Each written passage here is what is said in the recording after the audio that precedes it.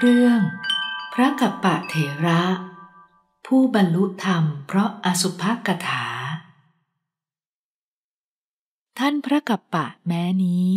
ได้บำเพ็ญบุญญาธิการมาในพระพุทธเจ้าพระองค์ก่อนๆ สั่งสมบุญเป็นอันมากไว้ในภพนั้นๆ ในการแห่งพระผู้มีพระภาคเจ้าทรงพระนามว่า สิทธัตถะ ท่านได้บังเกิดในตระกูลที่สมบูรณ์ด้วยสมบัติเป็นอันมาก เมื่อรู้เดียงสาแล้ว บิดาได้ล่วงไป ท่านประดับประดา ต้นกัลปะพฤกษ์ด้วยผ้าอันวิจิต ด้วยสีที่ไม่สดนานาชนิด ด้วยอาพรหลากชนิด ด้วยแก้วมณีต่างชนิด และด้วยมาลาพวงดอกไม้มากมายหลายชนิดแล้ว บูชาสถูปของพระศาสดา ด้วยสิ่งของเหล่านั้น ด้วยบุญกรรมนั้น ท่านจึงท่องเที่ยวไปในเทวโลก และมนุษยโลก ในพุทธุปบาทการนี้ ได้บังเกิดในราชสกุลที่พรั่งพร้อมด้วยเครื่องประดับในมคธรัฐ พอพระราชบิดาสวรรคตแล้ว ท่านทรงดำรงอยู่ในพระราชสมบัติ ทรงเป็นผู้ยินดีมักมากในกามทั้งหลาย อย่างเหลือประมาณอยู่ พระศาสดาทรงออกจากพระมหากรุณาสมาบัติแล้ว ทรงตรวจดูสัตว์โลก ทอดพระเนตรเห็นท่าน ผู้มาปรากฏในข่ายคือพระยานแล้ว ทรงคำหนึ่งว่า จักมีอะไรหนอแหลพระราชาพระองค์นี้ได้ฟังอสุภกถาในสำนักของเราแล้ว จะเป็นผู้มีจิตคลายความกำหนัดในกามทั้งหลายเสียได้ พอทรงผนวดแล้วจักได้บรรลุพระอรหันต์ดังนี้แล้วเสด็จไปที่นั้นทางอากาศ แล้วตรัสอสุภกถา แก่พระราชาองค์นั้น ด้วยพระคาถาเหล่านี้ว่า ร่างกายนี้ เต็มไปด้วยของอากูล และของอันเป็นมนทินต่างๆ มีหลุมคูดใหญ่เป็นที่เกิด เป็นดุดบ่อน้ำคร่ำอันมีมานมนาน เป็นดุดฝีใหญ่ เป็นดุดแผลใหญ่ เต็มไปด้วยหนองและเลือด เต็มไปด้วยหลุมคูด มีน้ำไหลออกเป็นนิด มีของเน่าไหลออกทุกเมื่อ กายอันเปื่อยเน่านี้ รัดรึงด้วยเอ็นใหญ่หกสิบเส้น ฉาบทาด้วยเครื่องฉาบทา คือเนื้อ หุ้มห่อด้วยเสื้อคือหนัง เป็นของหาประโยชน์มิได้ เป็นของสืบต่อเนื่องกันด้วยร่างกระดูก เกี่ยวร้อยด้วยได้ คือเส้นเอ็น เปลี่ยนอิริยาบถได้ เพราะยังมีเครื่องประกอบพร้อม นรชน ผู้ยังคลุกคลีอยู่ในกามคุณ เป็นผู้ตราเตรียมไปสู่ความตายเป็นนิด เป็นผู้ตั้งอยู่ในที่ใกล้มัจจุราช จักต้องทิ้งร่างกายไว้ในโลกนี้เอง กายนี้เองอวิชชาหุ้มห่อแล้ว ผูกรัดด้วยเครื่องผูกสี่ประการ จมอยู่ในห้วงน้ำคือกิเลส ปกคลุมไว้ด้วยข่าย คือกิเลส อันนอนเนื่องอยู่ในสันดานประกอบแล้วในนิวรห้า เพียบพร้อมด้วยวิตก ประกอบด้วยรากเง่าแห่งภพคือตัณหา ปกปิดด้วยเครื่องปกปิด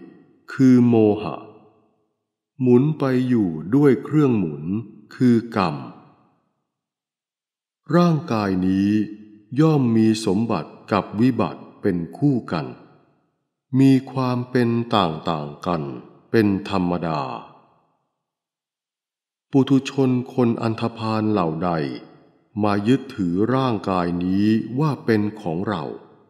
ย่อมยังสงสารอันน่ากลัวให้เจริญ ปุถุชนเหล่านั้น ย่อมถือเอาพบใหม่อีก กุลบุตรผู้เป็นบัณฑิตเหล่าใด ละเว้นร่างกายอันฉาบทาแล้วด้วยคูด ดังบุรุษผู้ประสงค์ความสุข อยากมีชีวิตอยู่ เห็นอสรพิษแล้ว หลีกหนีไป กุลบุตรเหล่านั้น ละอวิชชา อันเป็นรากเหง้าแห่งภพแล้ว เป็นผู้ไม่มีอาสวะ จากปรินิพาน พระราชาพระองค์นั้น ทรงสดับอสุภกถาจนแจ่มแจ้ง ถึงสภาวะแห่งสรีระอย่างแท้จริง ซึ่งขันมีอาการเป็นอเนก ต่อพระพักพระศาสดา อึดอัด ละอาย รังเกียจ มีพระทัยสังเวชต่อร่างกายของพระองค์ ถวายบังคมพระศาสดาแล้ว ทูลขอบรรพชาว่า ข้าแต่พระองค์ผู้เจริญ ข้าพระองค์ พึงได้บรรพชาในสำนักพระผู้มีพระภาคเจ้าพระศาสดา ทรงมีรับสั่งให้ภิกษุรูปหนึ่ง ซึ่งยืนอยู่ในที่ใกล้ ด้วยพระดำรัสว่า ภิกษุ เธอจงไป จงให้พระราชานี้ได้บรรพชาอุปสมบทแล้ว จึงมาเถิด ภิกษุรูปนั้นให้ตัดจะปัญจกะกรรมฐานแล้ว ให้พระราชาพระองค์นั้น ได้รับบรรพชา พระราชาพระองค์นั้น ในขณะจรดมีดโกนเท่านั้น ก็บรรลุพระอรหันต์พร้อมด้วยปฏิสัมพิทาทั้งหลาย ด้วยเหตุนั้น ท่านจึงกล่าวไว้ในอัปทานว่า กับปรุคิยะเถราประทาน ว่าด้วย ผลแห่งการตั้งต้นกัลปพฤกบูชา เราได้คล้องผ้าอันวิจิตรหลายผืน ไว้ตรงหน้าพระสถูปอันประเสริฐ ของพระผู้มีพระภาค พระนามว่าสิทธัตถะ แล้วตั้งต้นกระประพฤกไว้ เราเข้าถึงกำเนิดใด ๆ คือความเป็นเทวดา หรือมนุษย์ ในกำเนิดนั้น ๆ ต้นกระประพฤกอันงาม ย่อมประดิษฐานอยู่ใกล้ประตูเรา เวลานั้น เราเอง บริษัท เพื่อน และคนคุ้นเคย ได้ถือเอาผ้าจากต้นกระประพฤกนั้น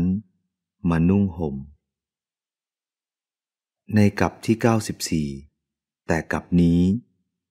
เราได้ตั้งต้นกระประพฤกใดไว้ ด้วยกรรมนั้น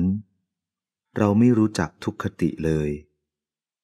นี้เป็นผลแห่งการตั้งต้นกระประพฤกษ และในกับที่เจ็ดแต่กับนี้ ได้มีพระเจ้าจักรพรรดิสามองค์ ทรงพระนามว่า สุเจละ ทรงสมบูรณ์ด้วยแก้วเจ็ดประการ มีพละมาก คุณวิเศษเหล่านี้ คือปฏิสัมพิทาสี่วิโมกแปดและอภิญญาหกเราทำให้แจ้งชัดแล้ว พระพุทธศาสนา เราได้ทำเสร็จแล้ว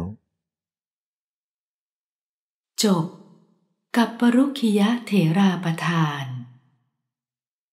ทราบว่า ท่านพระกัปปรุคิยะเถระ ได้กล่าวคาถาเหล่านี้ด้วยประการชนี้แหลเรื่อง พระกัปปะเถระ จบ